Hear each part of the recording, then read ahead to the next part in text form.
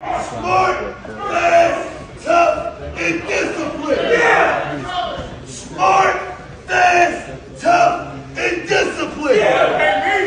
Salute. Now that's Gillie the Kid. A lot of you guys know he's close tied with Coach Prime and the Colorado Buffs. You guys seen him go out and get the or have a sit down with Cormani McClain before he committed to Coach Prime. And me personally, I love to see that this brother always paying respects to Coach Prime. As you guys can see, he took on or he addressed the Philadelphia Eagles and used the saying you guys seen Coach Prime make famous, smart, tough, fast, disciplined with character. You guys new to the channel, subscribe right now. Turn that post notification bell on to all. I'm trying to get the page up to 5,000 subs. So if you guys can do so, I would truly appreciate it. Outside that, you guys can see right here, this is Gillie the Kid. I'm getting ready to give you guys him addressing the Philadelphia Eagles in the locker room, and then I'm gonna give you my commentary after. Don't forget to subscribe. If you're new to the channel, turn that post notification bell on to all.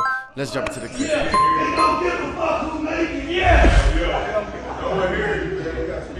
No. Let me tell y'all something about a play. They don't give a fuck about who make it. Yep, all good. Smart, fast, tough, and disciplined. That is it.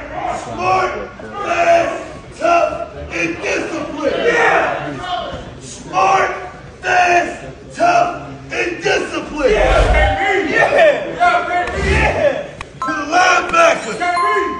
They down there. I don't want to see no running backs on top of you niggas.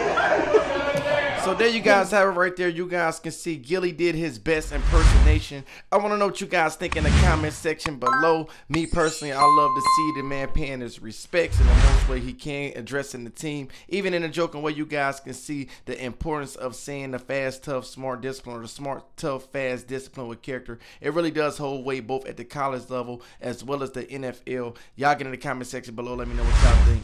Like, comment, subscribe, turn that post notification bell on to all. I'm gonna read what you gotta say in the comment section below. Thank you so much.